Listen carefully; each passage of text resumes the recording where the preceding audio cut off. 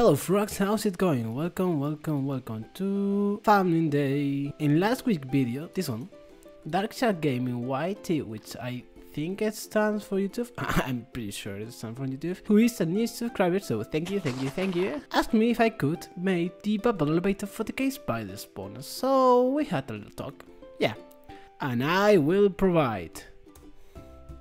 That's better. This is the seed he is playing on currently. And here we have the cave spider spawn he was talking about. One over here, one here, and the other in here.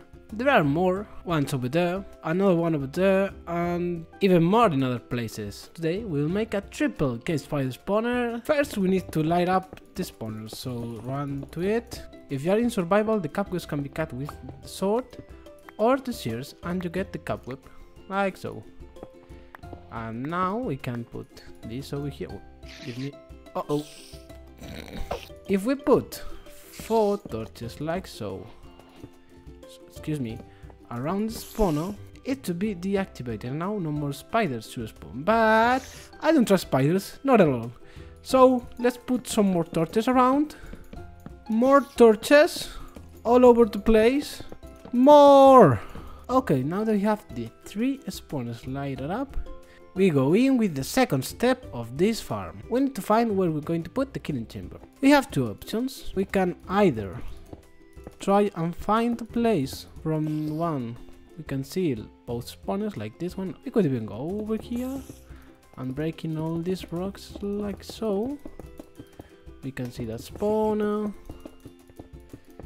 You get the idea, it's kind of tricky in survival and difficult. Or the easy one, we go over here, write down these coordinates that I have done in a paper, go to the second, do the same, and now the fourth, and with some little maths,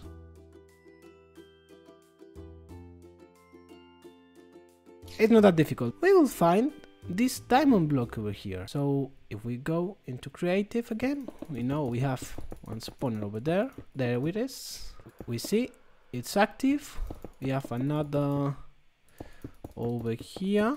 So we can break all this. We stand here and you can see how this spider is going around.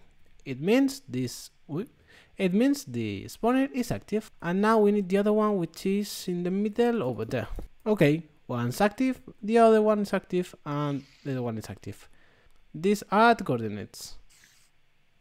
Okay, now to build in the farm. What I recommend now that we have the killing chambers place and we know where all the three spawners are is to go to the one in the lowest part and dig first room.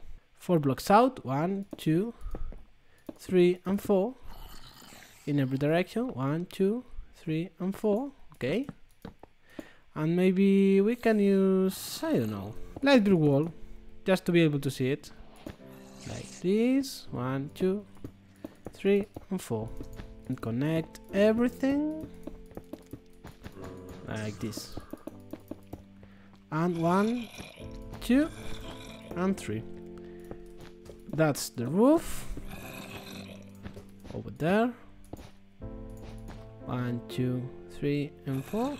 Perfect. And now give me a second and dig this place. Oh, and now that I think about it, the killing chamber needs to be in a distance of less than 15 blocks from every spawner. One block further, the spawner won't activate. And now, one, two, three blocks down. Now this room is dug out and looks really bad. We need to know in what direction we want to take the spiders out. So we have the killing chamber right here. What I'm thinking is that we can take the spiders out in this direction and from this spawner like this have a water cooling go in this direction to a bubble elevator right here that will take all the spiders over here. And for this spider spawner we take the spiders here and then over here. So now, why did I say I wanted to build this one first? Give me a second.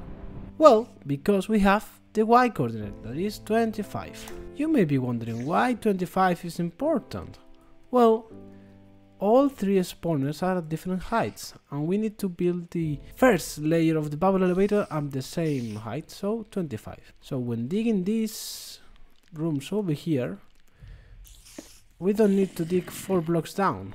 We need to dig until we reach Y25. So 1, 2, 3, 4, 5, 6 blocks from here. 1, 2, 3, 4, 5, 6, 7, 8 for this spawner. This will change for every spawner and every double or triple cave spider spawners need to be set up individually. So yeah, try to do your best. I will give you a few advices, but that's the best I can do. Now it's time for me to dig all these rooms out.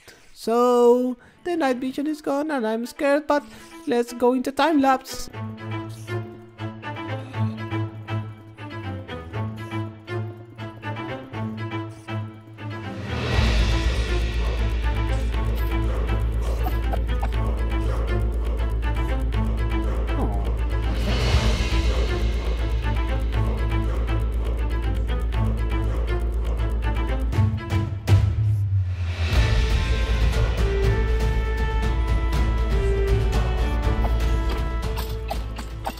Okay, frogs, now we have the three rooms dug up.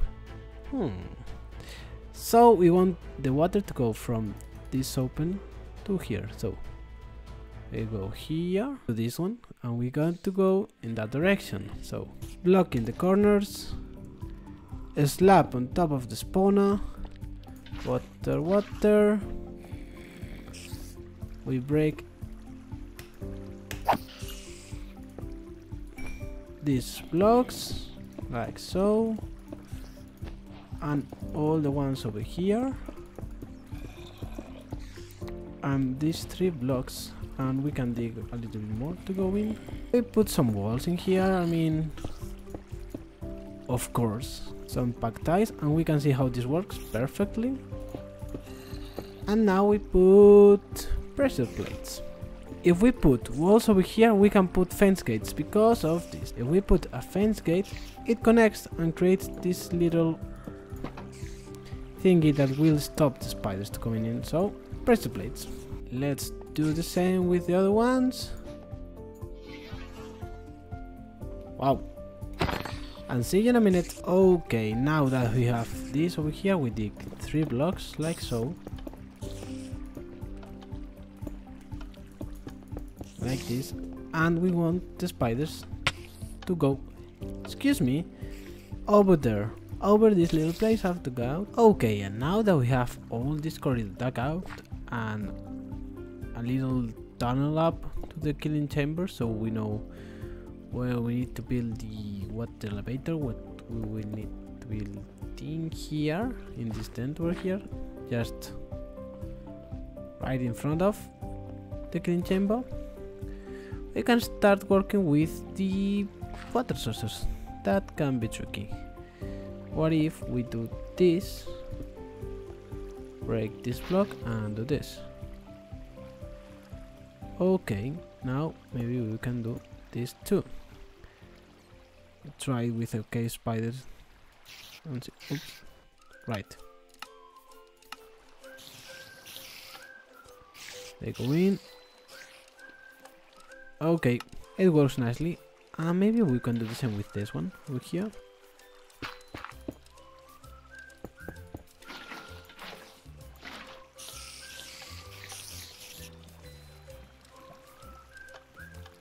Okay, I think this works. This should be filled so they shouldn't go up. Packed ice here, a row, and some pressure plates. And let's take a look at the other one. Okay, and over here I think we can do the very same. Break these two blocks, wall, and waterlog this wall. There they come. Oh, and they go real nice. Okay, so now ice where this block stops, pressure plates, and more water sources. Over here, hmm, hmm, hmm. we have the problem because we need the water to reach with some strength. So two blocks before this ends. Packed ice and pressure plates and more water sources. We dig a couple blocks and put a water source there. And I believe that it should create a current like the ones before. And um, it's stopping there oh Damn it. Maybe we put three like so. Yeah, yeah, yeah. Three blocks down over there. Water sources so we can see how the spiders come and go over into the future bubble elevator. And what we need to do now is to dig a couple blocks more. Okay. In. Wall, wall, wall waterlogged. It doesn't really matter which gate, but gates are important. Oops. Okay, there's a little lake over here. Now we need to break this over here. The block above there, like so, fence gate, walls, wall. We need to place signs all over here till we reach Y32.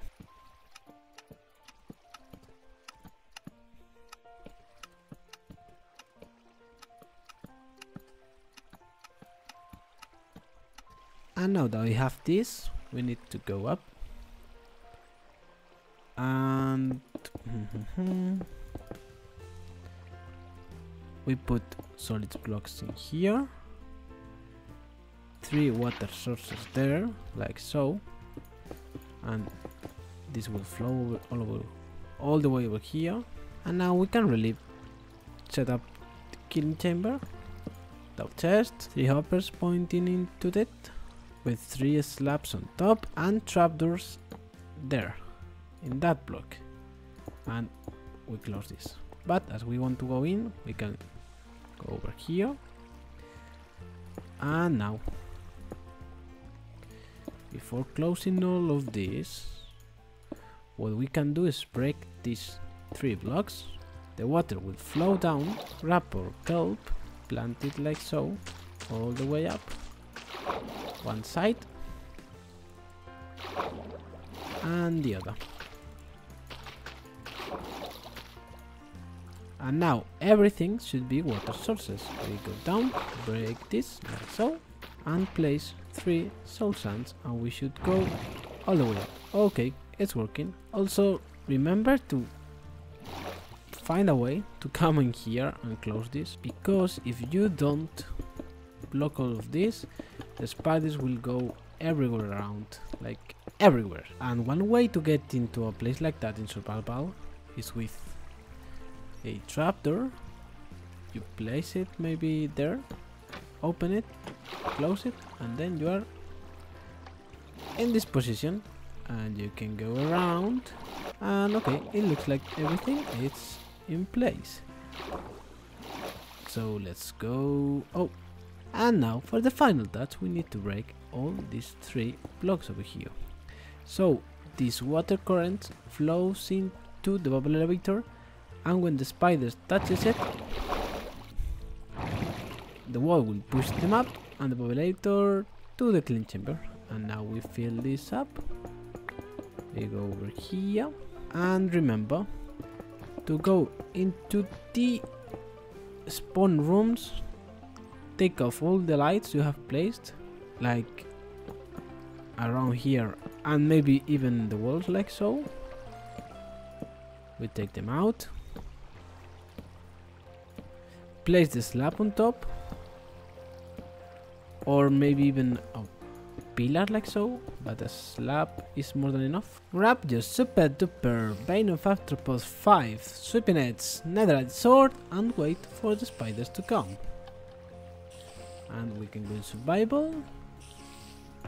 You see the chest is empty and let's wait for them. There they come. One hit and we can get really close to the chest and we can kill them. Oh, it's working really nice. All the spiders are going up, and as soon as they see me, they come to kill me. Not that they can, I mean.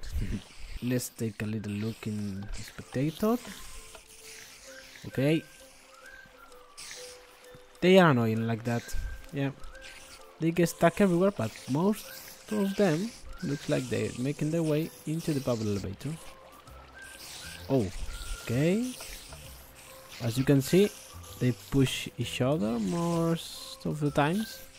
Sometimes they don't, but Uh, slowly but surely they are making their way into the bubble. Let's add a water source there. And see, okay, yeah, add a water source there in that corner. So they get pushed a little bit more. Okay. I don't know why that spider is stuck in there, but oh, there we go. Oh, I've I've been wondering like I don't know a couple minutes. Let's see. Oh, okay.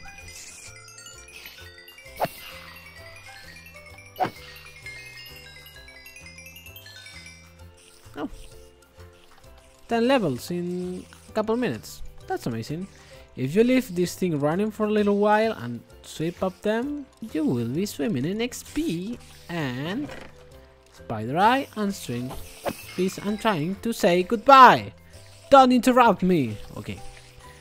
See you in the next one, folks. Hope you like it. Leave a like, subscribe, and all those things. Thank you, Dark Shark, for the amazing sick. See you in the next one. See ya.